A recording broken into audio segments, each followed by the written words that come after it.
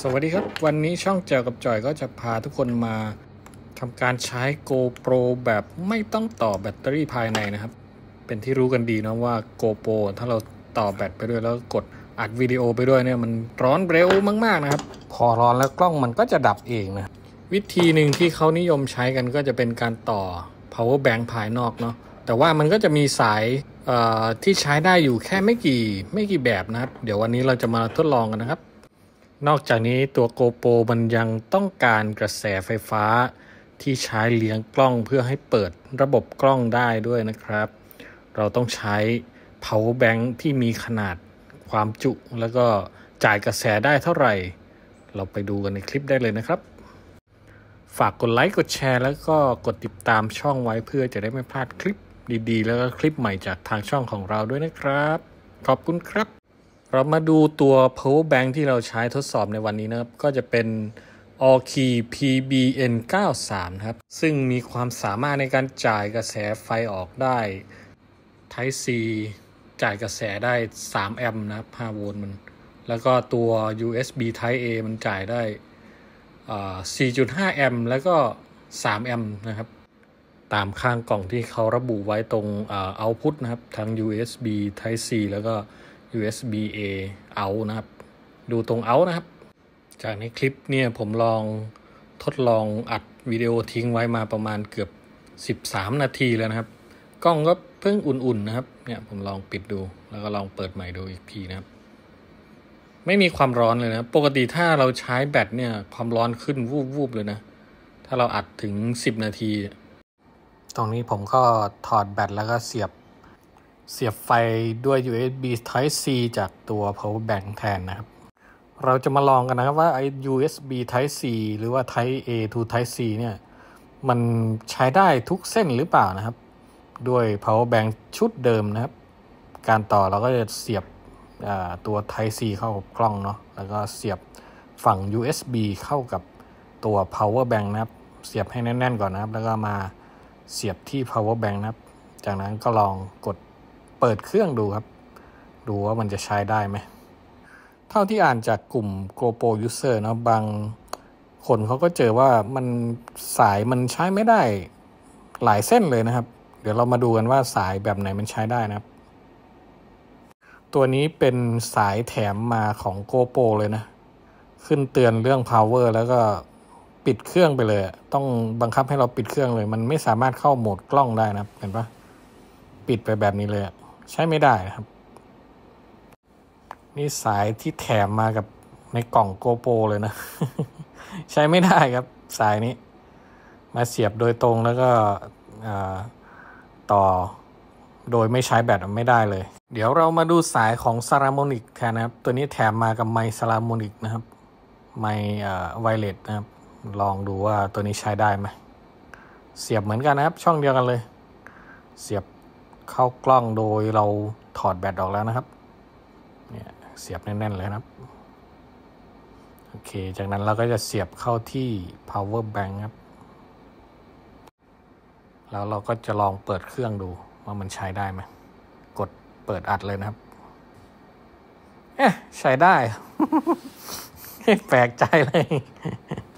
ของที่แถมมากับไมซ์ซาลามูนิกใช้ได้ครับ แต่ที่แถมมาโกโปรเอ้าใช้ไม่ได้โอ้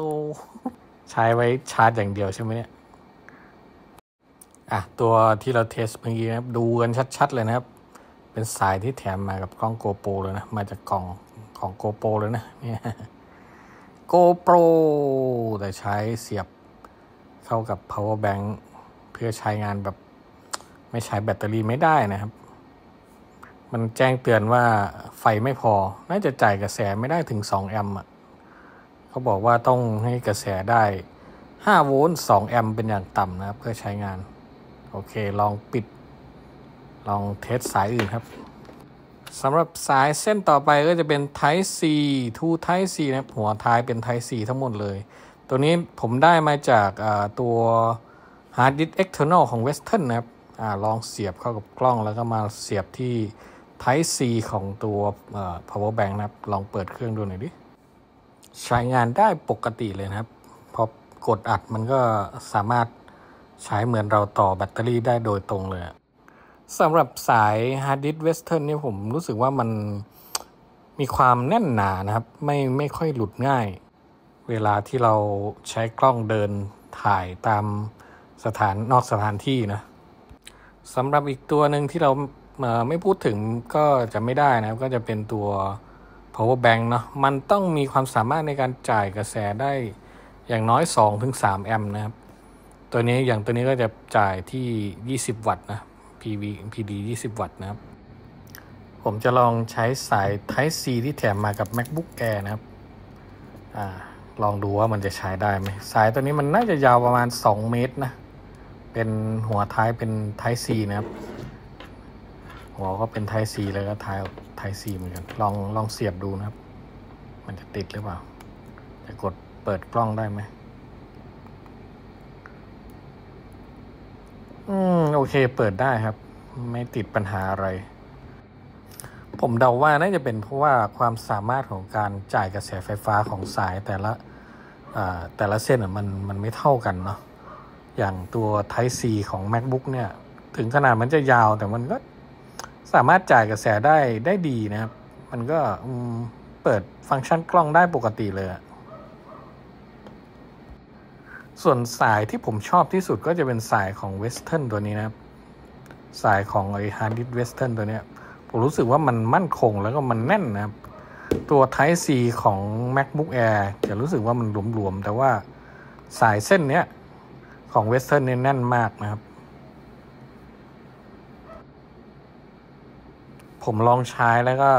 ถือเดินไปเดินมามันก็ไม่หลุดนะ สายตัวนี้นะครับ แต่เวลาใช้งานจริงไงต้องล็อกให้แน่นกับขาตั้งหรือว่ามีอะไรที่มันยึดเข้ากับขากล้องไม่ให้มันสั่นมากเกินไปเนาะเวลาเราถ่ายทำหรือว่าเผื่อจะต้องเดินนะครับ ก็มันก็จะได้ไม่หลุดง่ายนะโอเค จากนี้เราก็จะมาลองเปิดเครื่องแล้วก็ ดูไฟล์ที่เราถ่ายไปเมื่อกี้ด้วยสายตัว Type C นะครับ สาย USB Type C โดยเราไม่ใช้ตัวแบตเตอรี่ในกล้องเลยนะ นี่ครับ ลองลองกดเลื่อนแล้วก็เล่นไฟล์ดู ก็สามารถบันทึกได้ปกตินะครับ ไฟล์ไม่ได้เสียเลยนะ เนี่ย สามารถใช้งานได้ปกติเลยอลองลองหลาย ๆ คลิปดูนะครับที่ผมอัดไปเมื่อกี้ เออ ก็ใช้ได้นะครับ ไม่มีปัญหาเลยเลย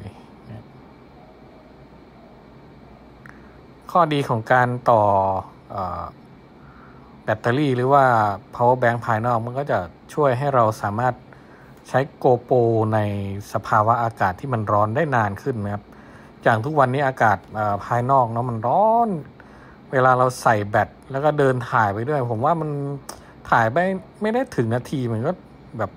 กล้องมันร้อนแล้วนะครับ ถ้าเราใช้วิธีนี้เราก็จะสามารถถ่ายเอาดอที่เป็นอากาศร้อนๆได้แบบ ได้นานขึ้น โดยไอ้ต้องยึดตัว power bank ตัวนี้ให้มันแน่นหนากับขาตั้งเนาะแล้วก็เลือกสายที่มันดูมั่นคงแล้วก็ support ดีๆนะครับ อย่างการทดลองนี้ก็สายที่ผมชอบที่สุดก็จะเป็นสายตัวที่แถมมากับ Hard Disk External ของ Western เนาะมันรู้สึกว่ามันมั่นคง แต่ของซาลามอนิกตัวนี้ก็ใช้ได้นะครับ ของที่แถมมากับไมนะครับ ถ้าเราพกตัวนี้ไปก็สามารถใช้ได้เลยนะครับ สายตัว macbook ก็ใช้ได้ แต่แปลกใจอย่างหนึ่งว่าสายที่แถมมากับโกโปรแท้ๆใช้ไม่ได้นะ เอออาจจะเป็นความสามารถในการจ่ายกระแสของมันยังไม่สูงพอนะอาจจะเป็นคุณภาพสายมันนั่นแหละ อาจจะ จ่ายได้ประมาณ 1 แอมป์นะครับเนี่ยตัวเนี้ยสายของ macbook air นะครับ ตัวนี้เป็น type c to type c ความยาวเยอะอยู่นะครับ 2 เมตรนะครับนี่ครับ หน่วยกล้าตายของเราวันนี้ก็จะเป็นสายประมาณ type c 3 เส้น 4 เส้นเนาะเรามาเทสกัน ส่วนใหญ่ก็ใช้ได้นะครับ สาย Type C ที่ที่แถมมากับอุปกรณ์ที่ผมมีอยู่ใช้ได้ทั้งหมดเลย มีแค่แถมตัวที่แถมมากับ GoPro ใช้ไม่ได้นะครับ นี่ตัวนี้นะครับ แถมมากับ Hard External ของ Western ครับ ใช้ได้ดีมาก ตัวที่แถมมากับไมซาลามอนิกก็ใช้ได้ แต่ว่าตัวที่มากับ GoPro ใช้ไม่ได้ครับ ไว้ชาร์จอย่างเดียวตอนนี้กำลังจะให้นิ้วโป้งแล้วตอนนี้ของ MacBook Air ครับ ใช้ได้ดีเหมือนกันนะครับ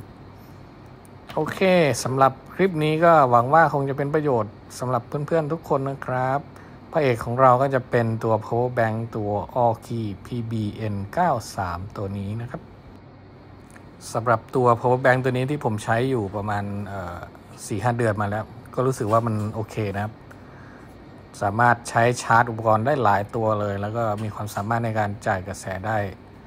อย่างตัว เลี้ยงกล้อง GoPro ตัวนี้ก็สามารถใช้ได้เลยนะครับ โดยไม่ต้องซื้อแบตเตอรี่เพิ่มก็ได้นะครับนี่ครับโอเคครับสำหรับคลิปนี้ก็หวังว่าคงจะเป็นประโยชน์สำหรับเพื่อนๆทุกคนนะครับ